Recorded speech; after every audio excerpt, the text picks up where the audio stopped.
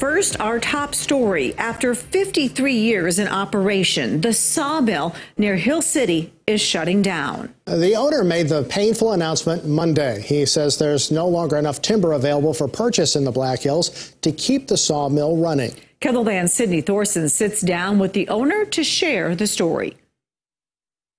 It's been a sad weekend, and I just say sorry to them boys. Jim Neiman is the current owner of Neiman Enterprises, which has been operating in the Black Hills since 1936 under his family name.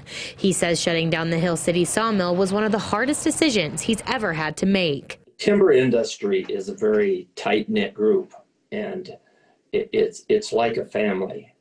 It's it, you feel like you're losing a relative.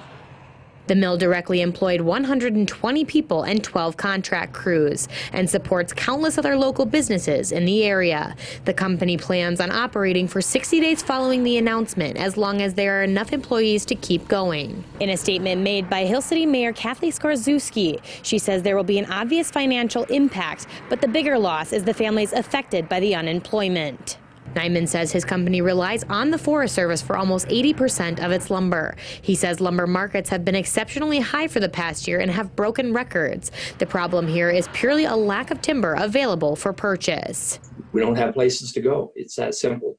We're down with the low volume under contract, and I've taken all the risk I can. We had to make one of the toughest decisions I've made in my life.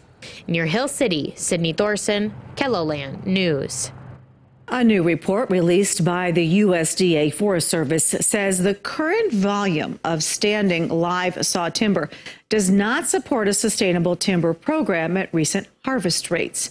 Scientists are calling for a 50 to 60 percent reduction in timber production for the Black Hills.